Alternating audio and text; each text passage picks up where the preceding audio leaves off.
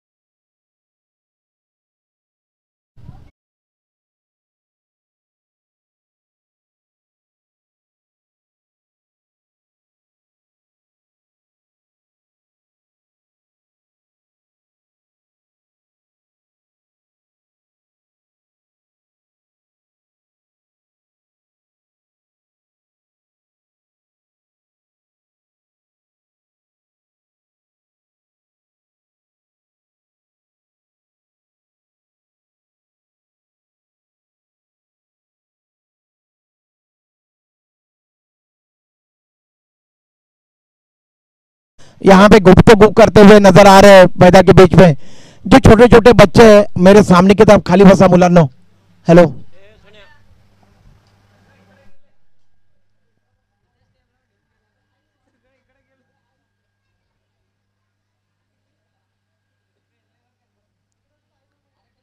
ये काफ़ी तेज गति से फेंकी हुई गेंद थी, लेकिन दिशा से भटके और ये गोटा एम्पायर इशारा कर रहे स्लो मोशन में वाइट का। इस तरीके से एक रन, इस एक रन के साथ कुल स्कोर में वृद्धि हुई है, कुल स्कोर के साथ। अभी भी इस ओवर की चार गेंदे आनी शेष है।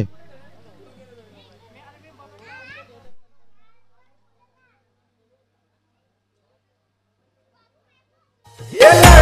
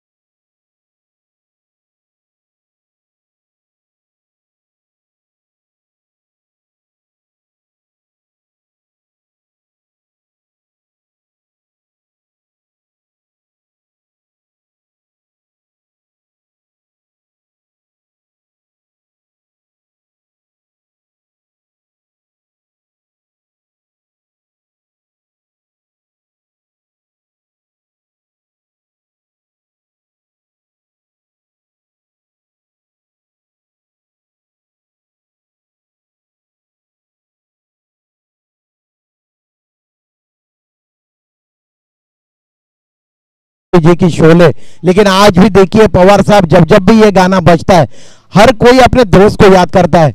जिस तरीके से गोटा कह रहे हैं पवार साहब से कि अपनी जोड़ी कभी भी नहीं टूटेगी, ये दोस्ती कभी भी नहीं टूटेगी। ये वाइड गेंद और इस तरीके से एक रन अतरी के खाते में गोटा एम्पायर इशारा कर रहे हैं। गेंदे बची है छह, और रन चाहिए सात गेंदे और अठारह रन चाहिए। सात गेंदे और अठारह रन। काफ़ी लंबा चौड़ा ये बॉलिंग यहाँ पे फेंक रहे गेंदबाज मंगेश, काफ़ी लंबा चौड़ा ओवर। इस बार इनसाइड आउट होके खेला हुआ स्ट्रोक सुपर कवर क्षेत्र में गेंद जा रही है। तीन क्षेत्र रक्षक दौड़े थे। एक ने गेंद को उठाया थ्रो किया नॉन की तरफ़ तब तक दौड़कर दो रन अर्जित किए। आखिरकार ये ओवर समाप्त हुई है मंगेश की। कुल स्कोर है सत्रह रन। अब रन चाहिए जीतने के लिए छह गेंदे और सोलह रन। छह गेंदे, सोलह रन। आइए यश। मेरा दिल दीवाना बोले ओले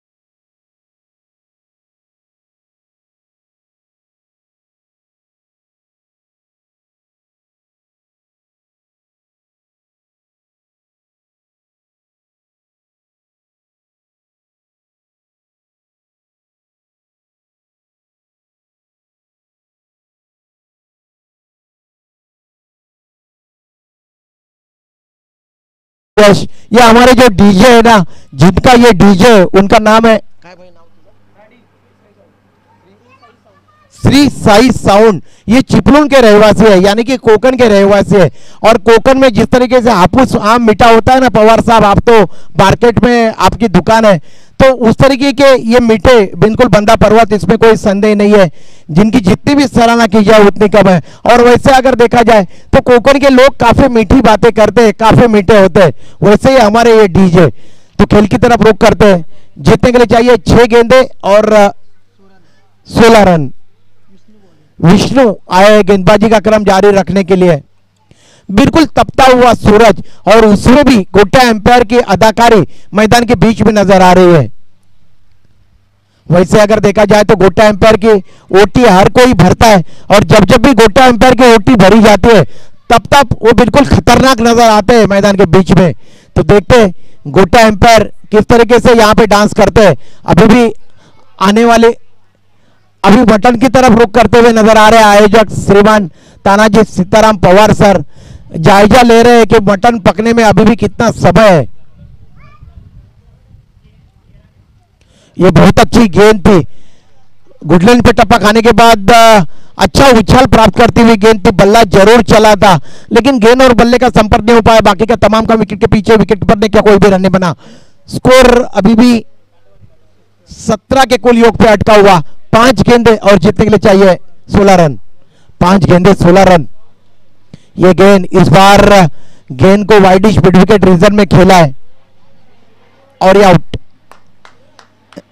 hello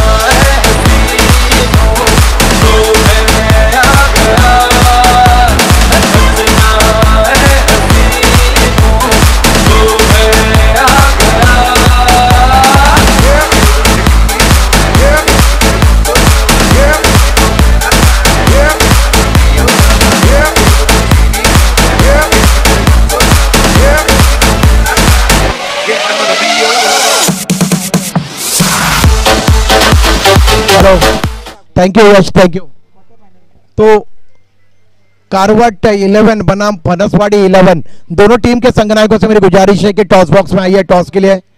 ये क्वार्टर फाइनल पहला मुकाबला यहाँ पे खेला जाएगा। कारवट 11 बनाम फनसवाड़ी 11 उसके बाद मारवट बॉय बनाम वन ए इन दोनों टीमों के दरमियान दूसरा क्वार्टर फाइनल का मुकाबला यहाँ पे खेला जाएगा। और इसमें जो जीतेगी टीम वो धुईल धुईलवाड़ी के साथ ये मैच यहाँ पे खेलेंगे। तो गेंदे बची है, अभी भी चार और रन चाहिए जीतने के लिए। पंद्रह, चार गेंदे और पंद्रह रन चाहिए जीतने के लिए यहाँ पे वागाची वाड़ी टीम को। यश।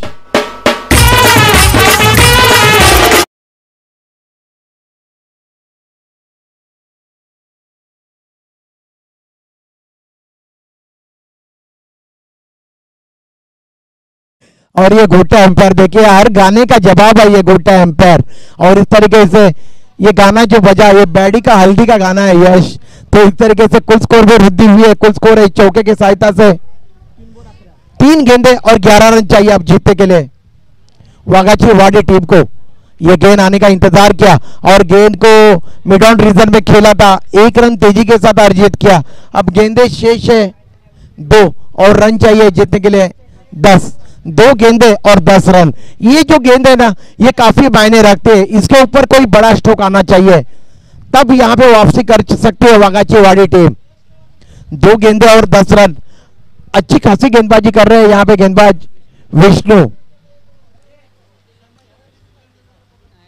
और इस बार बैकवर्ड स्क्वायर लेग रीजन में गेंद को खेला। और एक गेंद और नौ रन। एक गेंद और नौ रन। घेरा दाते गढ़ के टीम ने अच्छा प्रदर्शन किया है इस मैच में। चाहे बल्लेबाजी हो चाहे क्षेत्ररक्षण हो गेंदबाजी हो हर क्षेत्र में बहुत ही उमदा काम उनके खिलाड़ियों ने किया है। और इस तरीके से ये गोटा एम्पायर इशारा कर रहे हैं वाइट का। इस तरीके से एक रन अतिरिक्त के खाते में कुल स्कोर में वृद्धि हुई है। कुल स्कोर है 25 रन। देखिए, आयोजक आदरणीय तानाजी सीताराम पवार साहब जायजा ले रहे मटन वहाँ पे पका या नहीं? और इस बार ऊँचा स्ट्रोक खेला है। बैकवर्ड पॉइंट और कवर पॉइंट के दरमियान गेंद गिरी थी। वहाँ पे क्षेत्ररक्षक दौड़े थे और इस तरीके से ये मुकाबला यहाँ पे जीत लिया है। घेरा दाते गढ़ की टीम ने, मैं उनके टीम का अभिनंदन करना चाहूँगा। बैड लक वागाची वाड़ी टीम और, इस तरीके से अब यहाँ पे मुकाबला खेला जाएगा पहला क्वार्टर फाइनल का मुकाबला। यहाँ ना रे